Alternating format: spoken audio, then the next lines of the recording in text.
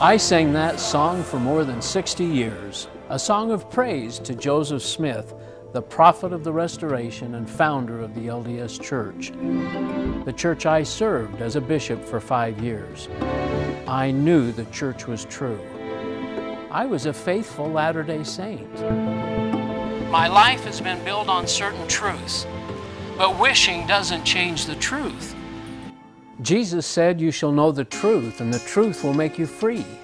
When I finally learned the truth about the real history and doctrines of Mormonism, I realized that I was following the gospel of Joseph Smith and not the gospel of Jesus Christ.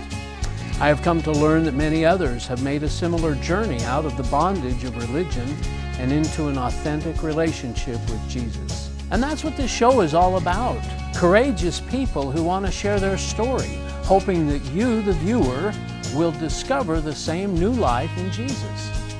So if you're a Latter day Saint who is struggling with questions or seeking a genuine encounter with the Savior, we invite you to join us tonight.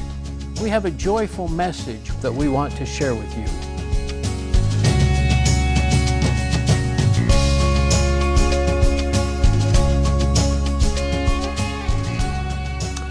Hi, and welcome to the Ex Mormon Files, another episode. And I'm so pleased today to, to introduce you to Carma Naylor. Carma is uh, just a joy, and she's written two different books, actually about the same your journey, an unex- a Mormon's unexpected journey. And these books can be picked up at utlm.org, at mormonismtograce.com, at Barnes & Noble, and on Amazon. And if you go to Amazon, you'll read some reviews and learn exactly what others are th- saying and thinking about a Mormon's unexpected journey. So, Carma, so nice to have you come here and share your story. Well, thank you for Yeah, having me. well, my I'm pleasure. excited. Yeah, so as we usually do, where do you hail from? Where were you born? And what's your early Mormon history? Oh, well, my history goes back to the pioneers in the Martin Handcart Company, actually. Wow, okay. The Naylors? Uh, no. well, that wouldn't, my, yeah, that's your maid, maiden name. Yes, my, my father's, Family. my mother's posterity. My, both of them migrated over as Oh, pioneers, and it helped to establish Ogden. So oh, and that's uh, where you were born? my great great grandmother died on the journey. They were in the, Mm-hmm. you know, hand cart mm-hmm. pushing their possessions, and her two sons, they actually starved and froze to death on that mm-hmm. journey. That was so a lot of hard, hard I, times. you know, it? Mormonism was my heritage, my culture, my faith in God. It was my identity as a person, I think. I know, what, I know what you mean. Your dad was a bishop, and your family was active. They were married. Oh, married. very in, much They so. were married in yeah. the temple, and My dad had an answer for every question I ever asked, and he had one one room in our house was dedicated to his library from ceiling to floor. Just all the books, I always huh? thought every Mormon book published was in his library. He was very knowledgeable, and I really believed it. He was a visionary man and yeah. had some very unusual spiritual experiences. So I, I just totally believed Mormonism with all my heart. Yeah. Did you take seminary and do the Oh yes, the, I the young women's activities? Oh yeah, all got all stuff? the awards in Young Women's. Went to full time seminary. Yeah. Went on a full time mission to New Zealand. Came Oh. back and went to BYU. Met my husband there, who was also a returned missionary, Yeah. also a fifth generation Mormon. Wow, we get to meet him next week. Uh, I'm excited to talk to him. Yeah. And then you get married in the temple, and Yes. and eventually have eight children. I understand. Yes, That's true. we sure do. tremendous. Thirty-two grandchildren right now. Wow, good for you. Congratulations. so, there just wasn't any question in your mind that the church was true, obviously, from what you're saying. And I mean, it was just a strong testimony of Joseph Smith and the Book of Mormon and Yes. temple work and everything. Yes. Yeah. So, what happened? the big question. Well, at the age of 40, I had a very close friend who was Jewish, Oh, and I felt that she was meant to be a Mormon. She was my golden contact. and uh, she didn't want to talk religion. She knew Jesus was an impostor. She'd mm-hmm. plug her ears at Christmas time.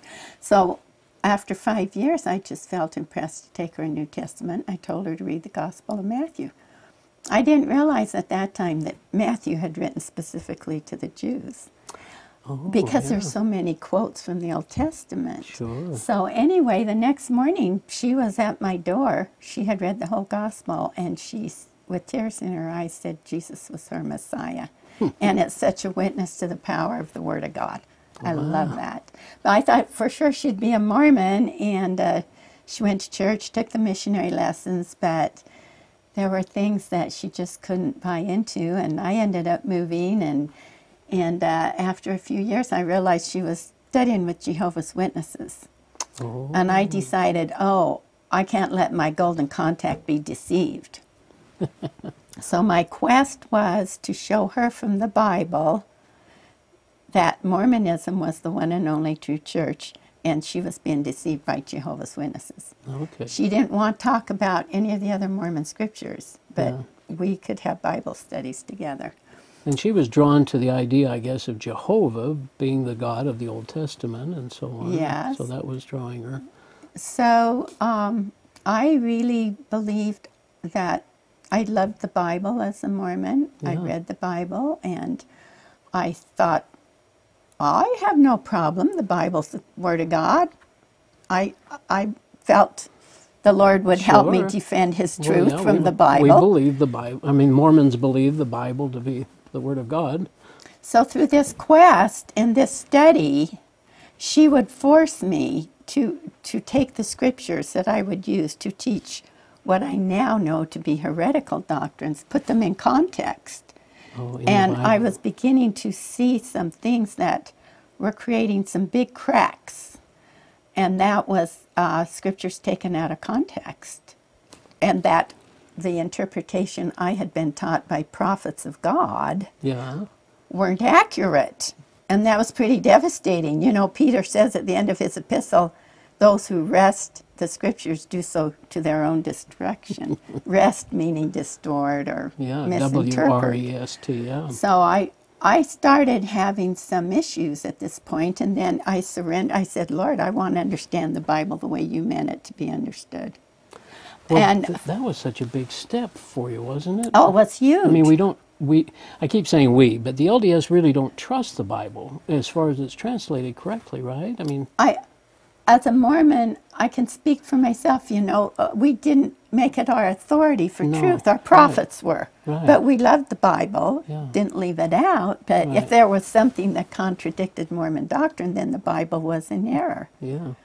And she kept challenging me, give you me your evidence that the Bible is in error. I will give you all the evidence that it's been translated correctly. And she'd keep talking about manuscript evidence, of which I Didn't never- know anything. Had never heard. Yeah. And so I finally came to the realization okay, it's either the Mormon prophets or it's the Bible, because I was not only finding um, scriptures taken out of context, but I was finding scriptures that clearly contradicted Mormon doctrine.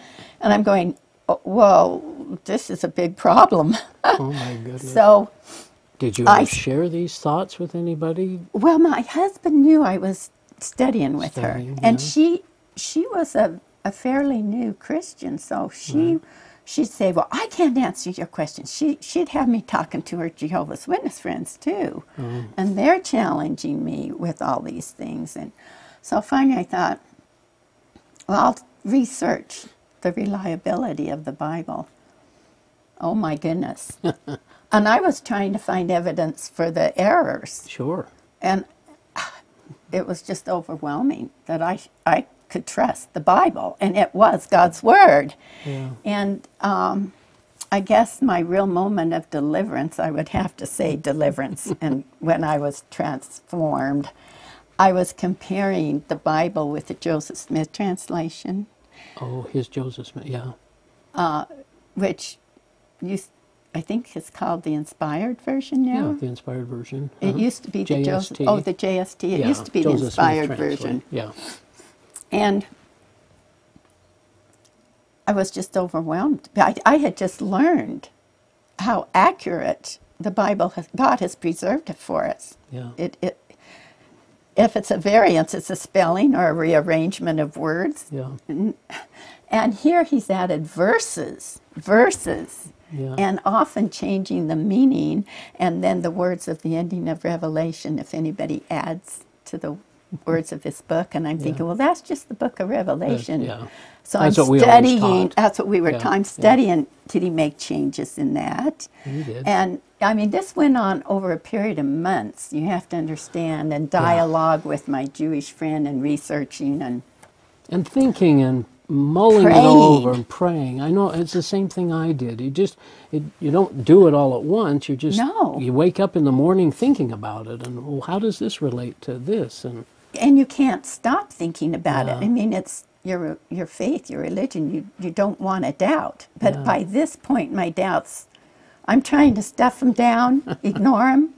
Still Gotta going- be strong. still going to church. I'm oh, assuming. and- absolutely. well, sure. And, So, uh, and nobody knew. My husband knew I was having discussions, but he's like, "Oh, I'm not worried. You're strong." You know. yeah. Well, this very day, I, I, when I realized, are the plagues of the Book of Revelation going to be on Joseph Smith for adding, For adding to words to the. Book of Revelation? Yeah. I mean, Moses said it in Deuteronomy, so it could be the whole book. And Proverbs 35, do not add to my word, I will rebuke you and prove you a liar. And I'm going, what about me? I, I'm following him. I proclaim him to be a prophet. And at that moment, I kid you not, I, I had a very demonic attack that was dark, frightening, the scariest experience of my life. And my spirit was hearing, How dare you doubt Joseph Smith? We will destroy you. And I thought, my Mormon mind thought, God's angry at me for doubting Yes, Joseph Smith. Yeah. I could finally say to myself, I'm doubting him. And I, it was horrible. It was frightening, very fearful. And I kept apologizing to God. Please deliver me from this demonic dark force that wants to destroy me. I'm sorry. I'll believe in Joseph Smith. That the, not, the evil wouldn't leave. Oh, and goodness. finally I said, Okay, Lord, if I'm wrong, I want to know now. If I lose my husband, my family, my friends, everything, I want to be right with you more than I want to live. I want your truth. And I don't want to get the other side and find out I'm wrong. I'm ready to know right now. At the moment I said that prayer, the darkness was replaced with the most glorious warmth, love, light, joy, peace. Yeah. And I, I, I didn't hear an audible voice, but it couldn't have been any stronger than my Savior saying to me, Carma, you belong to me. I did it all on the cross. Oh, I'm sufficient. You have burdened yourself with 40 years of trying to be good enough for me through Mormon laws and ordinances, and you don't need them. And they don't. I'm and uh, the way, the truth, and the life. And I was transformed, born again, and never the same again. and once your eyes are open, you just can't. You just can't see it any other way, right? I mean, well, no. when God moves in, and and you know that for tr- to be true. the thing that was so wonderful was my whole life I had tried so hard to be good enough for Jesus, Yeah. and I couldn't be. and that was gone. I, I was accepted by Him. I was His. I, ha- I knew I was going to be with Him. You he could he could come any time, and I was ready. But I could have never been ready as a Mormon. No, you never would have. You would have always felt guilty I that did. you hadn't done enough. I couldn't do enough. And my whole life was the church and my family. And yet I, I was, I had always felt like one of the five foolish virgins Uh-huh. instead of the wise. And I'd say, what's the extra oil, Lord? What's wrong? What's missing? What am I missing? You and I was that. missing his grace.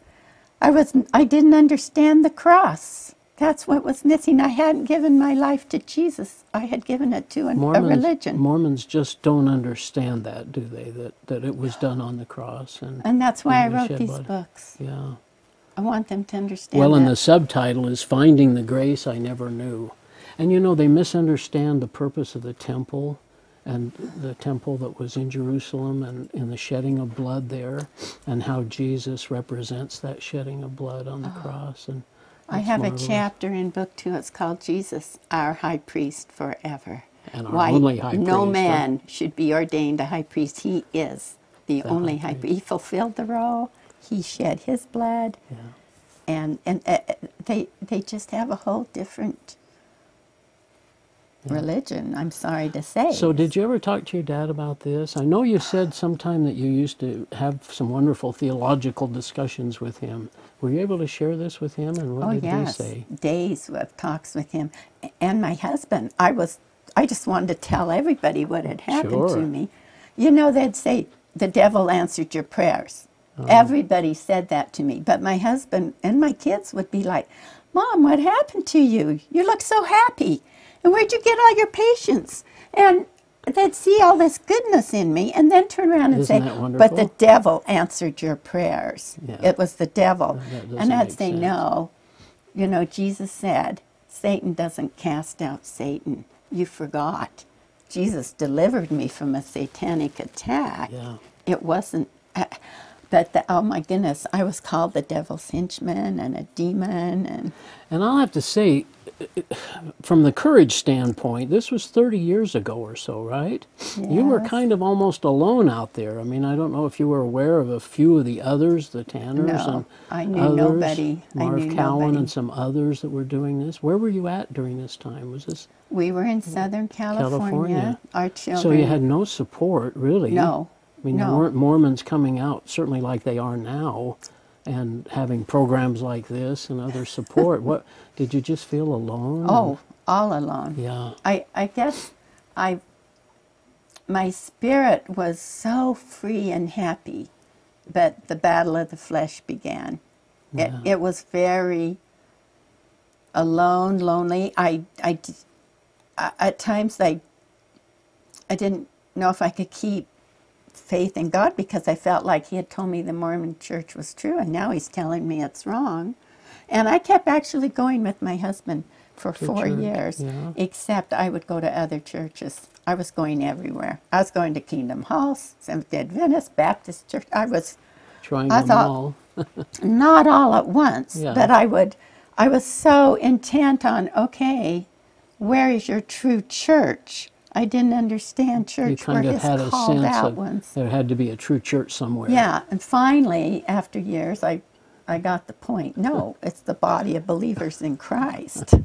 It's not a denomination Even, or even more freedom, right? Oh boy, steps of freedom Yeah. all along the way. And I I had so many questions that it that I was afraid to be too quick to form an absolute opinion. I didn't ever want to be so positive of my own opinion that I was not Not teachable. to learn. Yeah. so I, right. I was very cautious for quite a long time and just trying to learn and Well, I guess we'll hear Charles' side of the story here. During, uh, I know there was a period of time when, when things were pretty tense. But Oh, did you? How did you feel going into a Christian church the first time?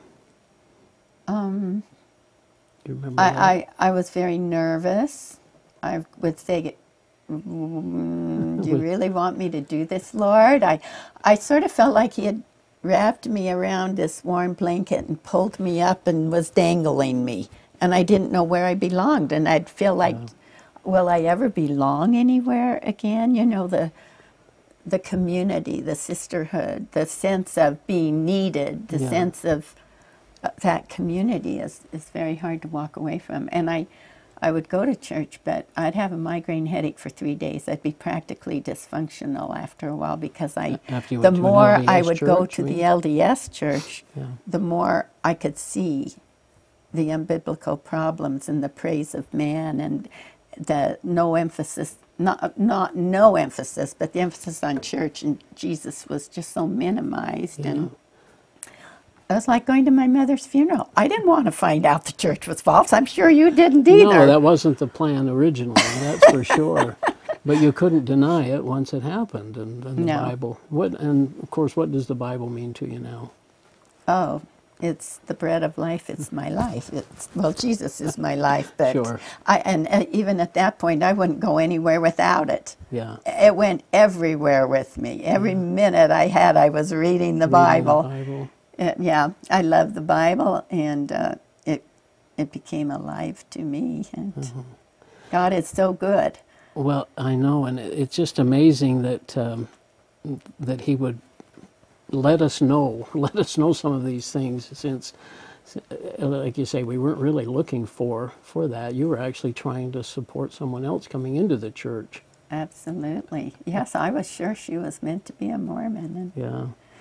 So has your your father's passed by now? I, I yes. by now. And, And he he would always say to me over the years that I was writing. I didn't intend originally to have two published books. I just wanted to write, and I just kept writing, writing. And You just felt the need to share. As. I learned more and experiences and things kept happening and struggles. yeah.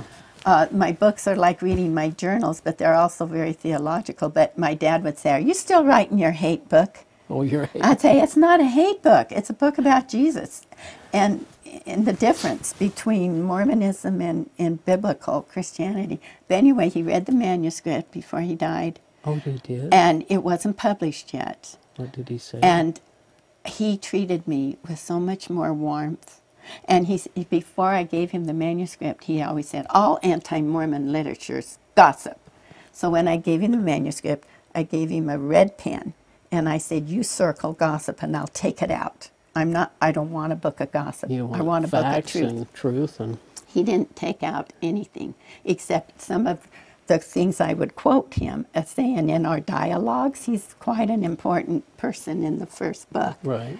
He would fix them and say, I didn't say the Holy Ghost looked like a man. I said, the Holy Ghost appeared to me in the form of a beautiful man. And he'd make me say it exactly the way he would say it. Oh. And so he just made it more accurate, really. Well, was it? but he actually, the last few years of his life, he totally changed. Did he He, really? he said, I shouldn't want to die to go see Dorothy. That was my mom. And Yeah. she had been dead for many years, and he oh. missed her so.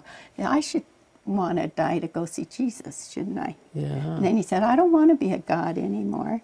But the final thing was one day he said, I'm saved by the blood of Jesus. And I, I literally danced around his front room and gave him a oh. big hug. He just sat there and smiled at me. You think you you must have really taught him? He never denounced Mormonism and he never wanted to acknowledge that But my books had a good impact. Jesus and his shed blood. he certainly was going through some changes. Yeah. Yeah. Well, was this? Uh, and I know these years were were tough uh, as you lived, I guess, all in California there. But uh, and what what changes have you seen that have been important to you as you've seen the the last twenty or thirty years? Any changes in the Mormon Christian debate? I mean, what do most Mormons misunderstand, for example? Do you think? Well, I think they misunderstand grace and they misunderstand why Jesus died on the cross. The, Yeah. the thing I want them to understand is that he's not part of the way. He's not, you know, my dad would always say, well, we can't get to first base without Jesus. And I want them to know, no, he gets your home plate. He does it all. I mean, it, it we're not set free to sin, but we're set free from the curse of the law that we're all under. We're not Yeah. all children of God, born perfect. We're born sinners, and we're not going to make it unless we're born again and we surrender to Jesus. And religious ordinances and rituals don't do it. I just want them to understand that. But it seems like the change I see within the Mormon church is that they don't want to really teach Mormonism. And they are focused, they want the world to see them as Christians so much. They're Yeah. more focused on talking about Jesus, Yeah. but they still don't understand his deity. They don't realize he's God in the flesh Yeah. and that he's the only one that could pay our penalty of sin. But they certainly, this last conference seemed to want to emphasize the Savior more, the atonement more than I've ever heard before. Yeah. And when I talk to the missionaries, it seems that they want to deny that they can become gods until I corner them is still in your 132nd section of the Yeah. D&C, isn't it?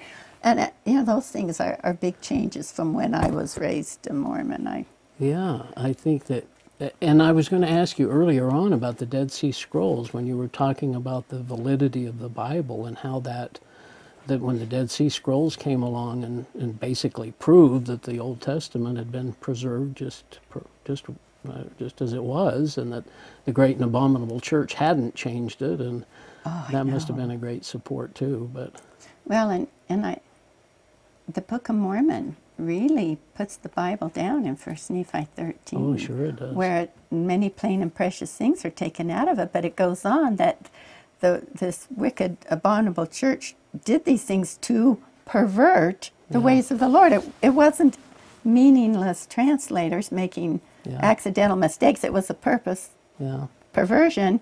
And if you finish the chapter, it even says, in so much as it causes people to be in Satan's power. So I always I ask the missionaries, now how can you really say you believe the Bible and you believe that too? you can't. Well, tell us just a little bit about the hope you have as a Christian now. Is there, kind of give the Mormons that might be listening, or uh, just a sense of what, what really this, this change is in our lives. Right. Don't be afraid. I believe we all have questions and doubts that arise at times when you in, had where questions about the temple, right? And Yes. things, yeah. Yes, the So temple bothered me. Yeah. I I even had a leader say to me once, "Well, we all have waves of doubts. You just focus on the good, put the problems on the shelf, and you'll get over it. Yeah. Just keep active, keep serving." So I think everybody does have doubts. Don't be afraid because that isn't the devil giving you doubts. Yeah. That's the Lord trying to get you to Think a little. and investigate and not just believe what you're told. You got to see both sides Yeah. that most of all is it is the most wonderful thing in the world to have an assurance of faith that you belong to Jesus and you don't have to live under that burden of never being good enough and you know that you're going to make it and you're going to be in his kingdom not because of anything we do but everything that he did that is so wonderful there's nothing better than that nothing And it's such a simple message, isn't it? Yes. I mean, it's so beautiful. And the gospel of Jesus Christ is simple. It's not all the added things that the Mormon prophets have burdened Yeah. it. And, well, like Paul says in uh, Galatians, if we or an angel from heaven Preach preach any any, other other gospel than that which we have They preached, need to read let and find out what Paul said. Well, Carma, our time's gone. Can you believe it? That was great. It was just wonderful. Thanks for coming. And again, if you have a chance, pick up these books and uh, you'll really enjoy them. It's a wonderful story. Goodbye. Thank you. Oh?